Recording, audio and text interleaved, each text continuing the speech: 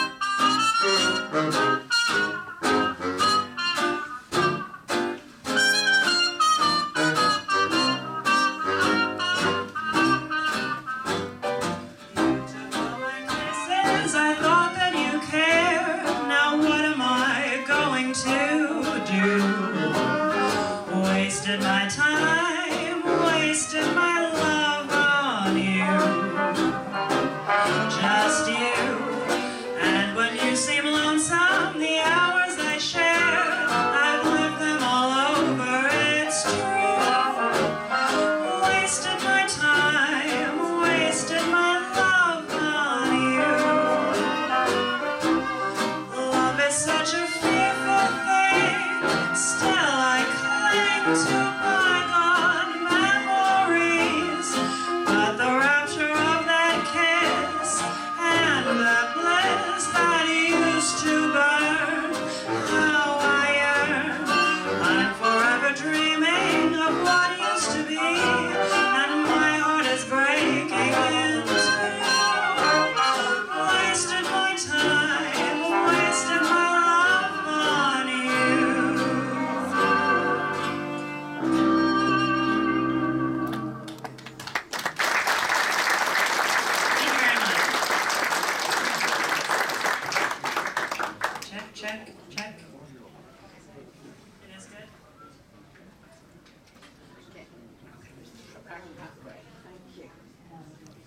Okay, so um, I won't say much more about Annette Hanshaw, but I will say a little bit about the fact we have Curtis Volp on the guitar for the first time at the Jazz Bar.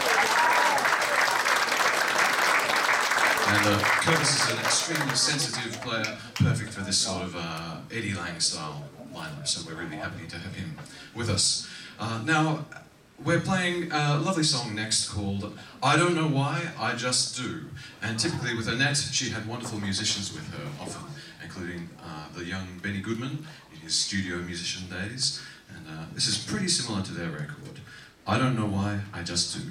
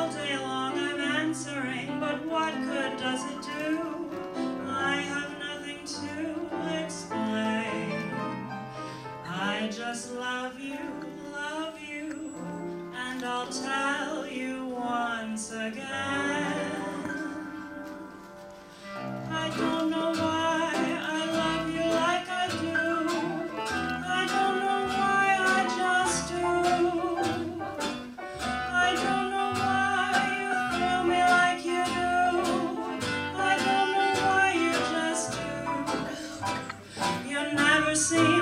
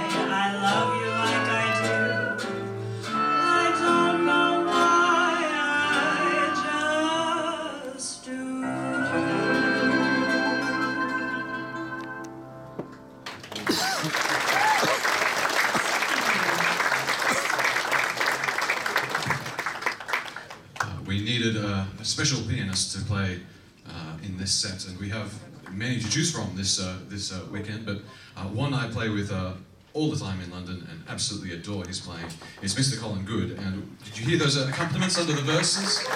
Marvelous. Having said that, he's going to sit out for the next tune. So one of the one of the best arguments for Annette Hanshaw as a really great musician and even a jazz singer, which some people would argue with, is uh, she was respected by the musicians. Uh, she was on a, a great series of recordings with four of the stars of their instruments, virtuosi, uh, the four instrumental stars, and they were Joe Venuti, Eddie Lang, Vic Berton, and Adrian Rollini. We're going to play a, a, star, uh, a piece in that style, although they didn't record this tune. It's After My Laughter Came Tears, or After My Laughter Came Tears.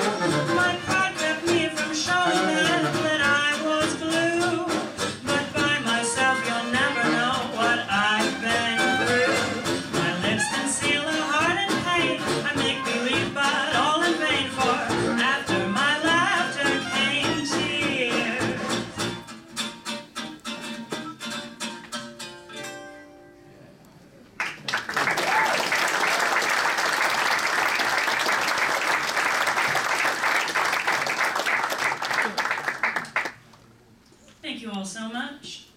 That was a fun tune, but we're gonna get a little melancholy here. This song um, that we're gonna do next is a particular favorite of mine that's done by Annette, and uh, it's a very just tragic song. I think it's just a story about, you know, relationship is closing and it's ending, and you're seeing it while you're still with the person, and it's just a very specific type of kind of despair. And um, I just love this song. I like all that sad stuff, and it's just a beautiful kind of a prequel to love being lost and the feelings involved in that. So I enjoy it. This is Say It Isn't So. Mm. You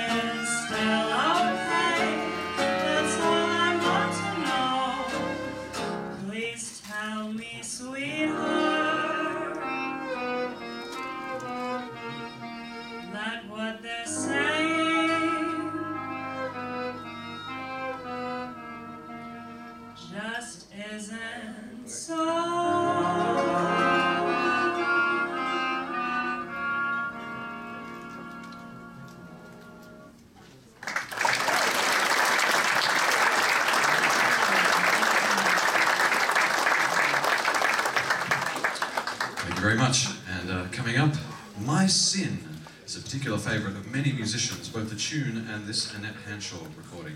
I was just talking with Andy Schumm earlier. He loves this one too, and uh, I know I do. My Sin, written by DeSylva, Brown, and Henderson.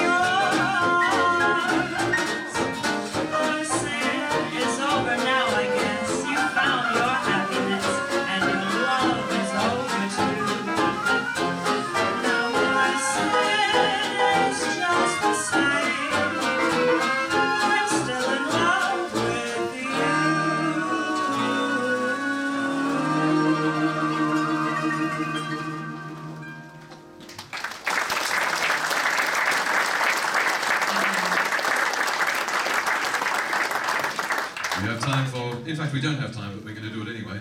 Uh, everyone else is. Um, it's one more tune called The Song Is Ended, and uh, please, I didn't mention them, but uh, they're doing a wonderful job. What about a hand to these musicians? Fisk, Mike Davis, Graham Hughes, Josh Levy, Ben Holder, Colin Good, Ryan Utley, and Curtis Holt. Here's something really, really pretty. The song is ended.